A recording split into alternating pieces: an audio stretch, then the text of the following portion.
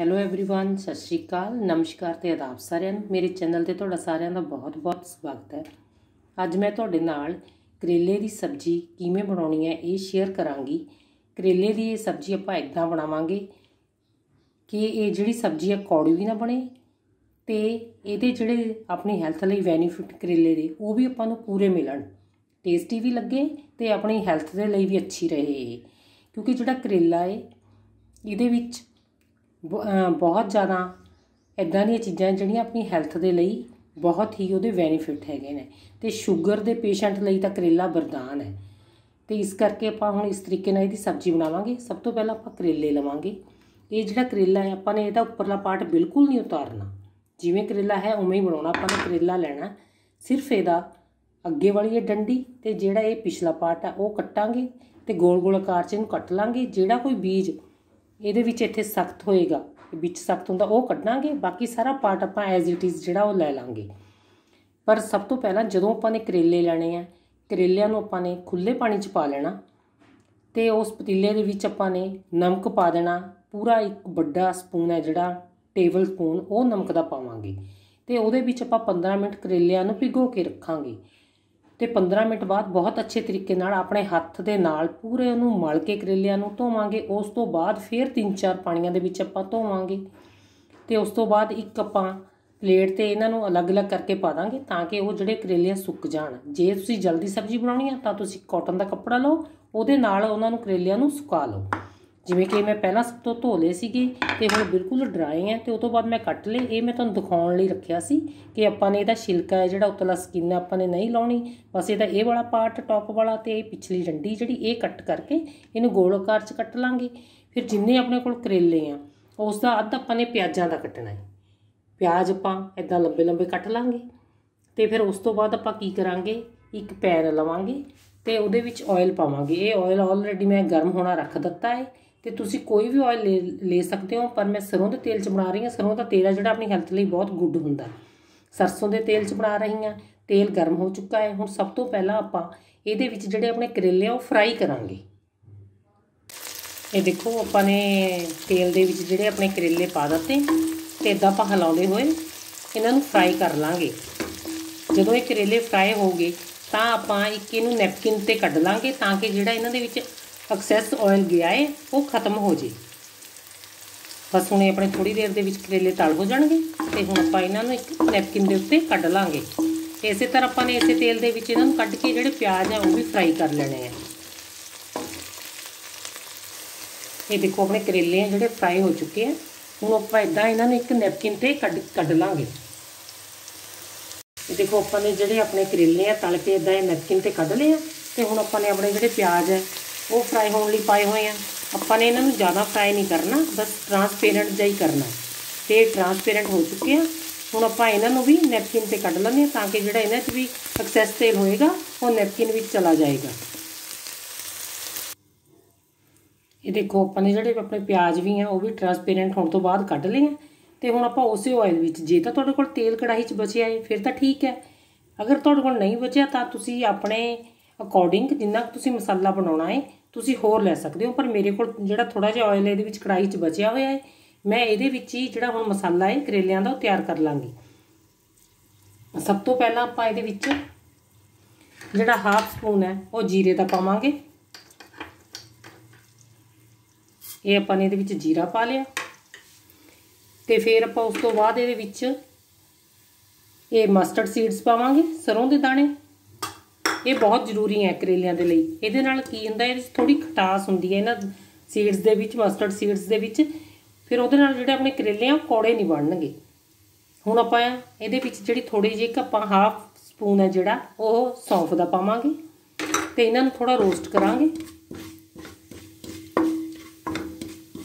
ਜਦੋਂ ਇਹਨਾਂ ਦਾ ਰੰਗ ਚੇਂਜ ਹੋ ਗਿਆ, ਫਿਰ ਆਪਾਂ ਨੇ ਇਹਦੇ ਵਿੱਚ ਜਿਹੜੇ ਟਮਾਟਰ ਪਾਉਣੇ ਆ। ਮੈਂ ਦੋ ਮੀਡੀਅਮ ਆਕਾਰ ਦੇ ਟਮਾਟਰ ਲਏ ਆ ਤੇ ਉਹਨਾਂ ਨੂੰ ਪੀਸਿਸ ਵਿੱਚ ਕੱਟ ਲਿਆ।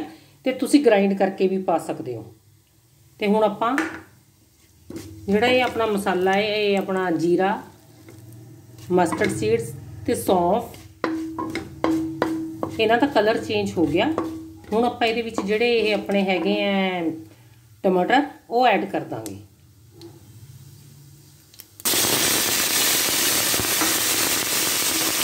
ਆਪਾਂ ਬਹੁਤ ਹੌਲੀ ਤਰੀਕੇ ਨਾਲ ਕਰਾਂਗੇ ਇਹਨਾਂ ਨੂੰ ਐਡ, ਤਾਂ ਕਿ ਆਪਣੇ ਹੱਥ ਤੇ ਜਿਹੜੇ ਚਿੱਟੇ ਵਗੈਰਾ ਨਾ ਪੈ ਜਾਣ। ਤੇ ਜਦੋਂ ਇਹ ਆਪਣੇ ਟਮਾਟਰ ਸੌਫਟ ਹੋ ਗਏ, ਆਪਾਂ ਇਹਦੇ ਵਿੱਚ ਜਿਹੜਾ ਇੱਕ ਸਪੂਨ ਹੈਗਾ ਡਰਾਈ ਮੇਥੀ ਦਾ ਪਾਵਾਂਗੇ। ਹੁਣ ਆਪਾਂ ਇਹਨਾਂ ਟਮਾਟਰਾਂ ਦੇ ਵਿੱਚ ਦੋ ਬਰੀਕ ਕੱਟੀਆਂ ਹੋਈਆਂ ਹਰੀਆਂ ਮਿਰਚਾਂ ਐਡ ਕਰਾਂਗੇ। ਤੁਸੀਂ ਜਿਹੜੀ ਮਿਰਚ ਹੈ ਆਪਣੇ ਟੇਸਟ ਦੇ ਅਕੋਰਡਿੰਗ ਘੱਟ ਵੱਧ ਕਰ ਸਕਦੇ ਹੋ। ਤੇ ਹੁਣ ਆਪਾਂ ਇਹਦੇ ਵਿੱਚ ਜਿਹੜਾ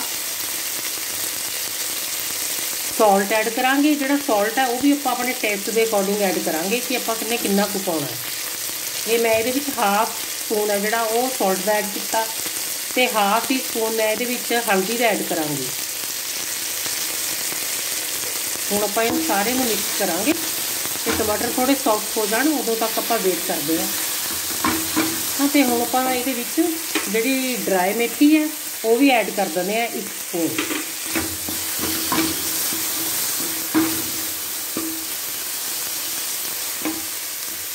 ਤੇ ਹੁਣ ਆਪਾਂ ਇਹਦੇ ਵਿੱਚ ਅਮਚੂਰ ਪਾਊਡਰ ਹੈ ਜਿਹੜਾ, ਉਹ ਐਡ ਕਰ ਦਾਂਗੇ। ਅਮਚੂਰ ਪਾਊਡਰ ਬਹੁਤ ਜ਼ਰੂਰੀ ਹੈ ਇਹਦੇ ਵਿੱਚ ਪਾਉਣਾ। ਇਹਦੇ ਨਾਲ ਵੀ ਜਿਹੜੀ ਕਰੇਲੇ ਆ, ਉਹ ਆਪਣੇ ਕੌੜੇ ਨਹੀਂ ਬਣਨਗੇ। ਮਸਟਰਡ ਸੀਡਸ ਤੇ ਅਮਚੂਰ ਪਾਊਡਰ। ਇਹ ਦੋਨੇ ਜਿਹੜੇ ਕਰੇਲਿਆਂ ਨੂੰ ਦਾ ਕੌੜਾਪਣ ਜਿਹੜਾ, ਉਹ ਘੱਟ ਹੋ ਜਾਏਗਾ ਇਹਨਾਂ ਦੇ ਨਾਲ। ਹੁਣ ਆਪਾਂ ਇਹਨਾਂ ਨੂੰ ਸੌਫਟ ਹੋਣ ਤੱਕ ਥੋੜੀ ਦੇਰ ਪਕਾਵਾਂਗੇ। ਉਸ ਤੋਂ ਬਾਅਦ ਆਪਾਂ ਆਪਣੇ ਪਹਿਲਾਂ ਹੀ ਆਲਰੇਡੀ ਜਿਹੜੇ ਆਪਾਂ ਕਰੇਲੇ ਤੇ ਪਿਆਜ਼ ਫਰਾਈ ਕਰ ਚੁੱਕੇ ਆ, ਉਹਨੂੰ ਆਪਾਂ ਇਹਦੇ ਵਿੱਚ ਐਡ ਕਰ ਦਾਂਗੇ।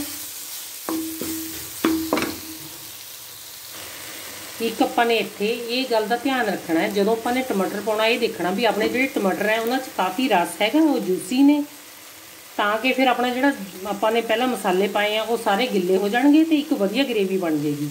ਅਗਰ ਕਈ ਜਿਹੜੇ ਟਮਾਟਰ ਆ, ਉਹਨਾਂ ਦੇ ਵਿੱਚ ਜਿਹੜਾ ਉਹਨਾਂ ਦਾ ਟਮਾਟਰ ਦਾ ਆਪ ਦਾ ਰਸ ਹੈਗਾ ਜੂਸ ਹੈਗਾ, ਉਹ ਘੱਟ ਹੁੰਦਾ ਹੈ। ਤਾਂ ਫਿਰ ਆਪਾਂ ਥੋੜਾ ਜਿਹਾ ਪਾਣੀ ਹੈ ਜਿਹੜਾ, ਉਹ ਵਿੱਚ ਐਡ ਕਰ ਸਕਦੇ ਹਾਂ। ਇਹ ਦੇਖੋ, ਆਪਣਾ ਜਿਹੜਾ ਮੈਨੂੰ ਇੱਥੇ ਪਾਣੀ ਪਾਉਣ ਦੀ ਲੋੜ ਨਹੀਂ ਪਈ, ਕਿਉਂਕਿ ਟਮਾਟਰ ਹੈ ਜਿਹੜੇ, ਉਹਨਾਂ ਨੇ ਆਲਰੇਡੀ ਉਹਨਾਂ 'ਚ ਪਾਣੀ ਸੀਗਾ, ਉਹਨਾਂ ਦਾ ਜੂਸ ਸੀਗਾ। ਤੇ ਉਹਦੇ ਨਾਲ ਹੀ ਇਹ ਜਿਹੜਾ ਇਹ ਆਪਣਾ ਸਾਰਾ ਮਸਾਲਾ ਵਿੱਚ ਰਲ ਗਿਆ। ਤੇ ਹੁਣ ਆਪਾਂ ਇਹਦੇ ਵਿੱਚ ਹਾਫ ਟੀਸਪੂਨ ਕਸ਼ਮੀਰੀ ਰੈੱਡ ਮਿਰਚ ਦਾ ਪਾਵਾਂਗੇ।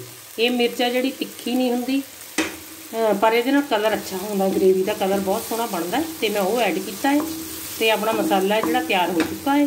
ਤੇ ਹੁਣ ਆਪਾਂ ਇਹਦੇ ਵਿੱਚ ਜਿਹੜਾ ਆਪਣੀ ਸਬਜ਼ੀ ਹੈ ਜਿਹੜੀ ਆਪਾਂ ਨੇ ਨੈਪਕਿਨ ਤੇ ਕੱਢ ਕੇ ਫਰਾਈ ਕੀਤੇ ਹੋਏ ਪਿਆਜ਼ ਤੇ ਕਰੇਲੇ ਰੱਖੇ ਸੀ, ਉਹ ਆਪਾਂ ਐਡ ਕਰ ਦਾਂਗੇ।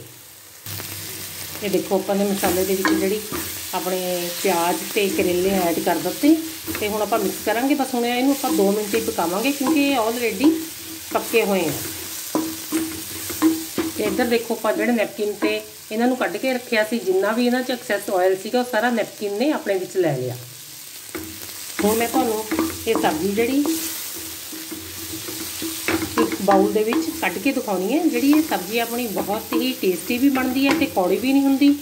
ਤੇ ਆਪਾਂ ਨੂੰ ਇਹਦੇ ਜਿਹੜੇ ਬੈਨੀਫਿਟਸ ਆ ਉਹ ਵੀ ਪੂਰੇ ਮਿਲਣਗੇ। ਤੇ ਤੁਸੀਂ ਵੀ ਸਾਰੇ ਇਦਾਂ ਬਣਾ ਕੇ ਦੇਖਿਓ।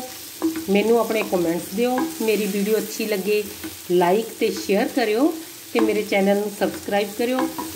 ਮੇਰੀ ਵੀਡੀਓ ਤੁਹਾਨੂੰ ਅੱਛੀ ਲੱਗਦੀ ਹੈ ਤਾਂ ਜ਼ਰੂਰ ਆਪ ਮੈਨੂੰ ਜਿਹੜੇ ਆਪਣੇ ਕਮੈਂਟਸ ਆ ਹੌਸਲਾ ਅਫਜ਼ਾਈ ਹੈ, ਉਹ ਦਿਆ ਕਰੋ। ਕਿਉਂਕਿ ਇਹਦੇ ਨਾਲ ਬਹੁਤ ਬਣਾਉਣ ਵਾਲਿਆਂ ਨੂੰ ਹੌਸਲਾ ਮਿਲਦਾ ਚਲੋ ਹੁਣ ਮੈਂ ਤੁਹਾਨੂੰ ਇਹ ਇੱਕ ਪਲੇਟ ਦੇ ਵਿੱਚ ਜਾਂ ਇੱਕ ਬਾਉਲ ਦੇ ਵਿੱਚ ਕੱਢ ਕੇ ਦਿਖਾਉਣੀ ਹੈ।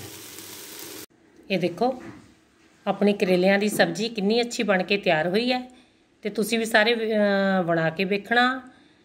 ਤੇ ਮੇਰੀ ਵੀਡੀਓ ਦੇਖਣ ਲਈ ਤੁਹਾਡਾ ਬਹੁਤ-ਬਹੁਤ ਧੰਨਵਾਦ। ਥੈਂਕ ਯੂ ਸਾਰੇ ਜਣੇ ਖੁਸ਼ ਰਹੋ ਤੇ ਹਮੇਸ਼ਾ ਹੱਸਦੇ ਵਸਦੇ ਰਹੋ।